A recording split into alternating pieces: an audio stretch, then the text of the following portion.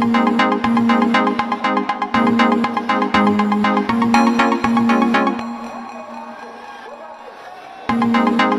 you.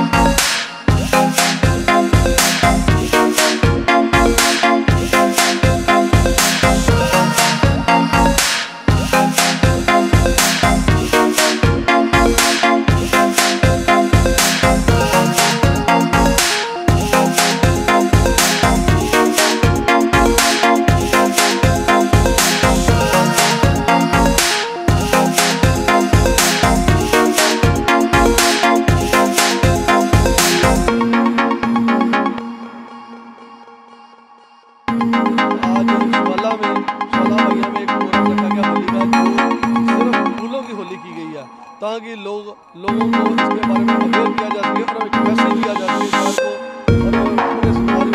ताकि आप सिर्फ़ होली की जो खेलो और सिर्फ़ होली खेलो, कलर की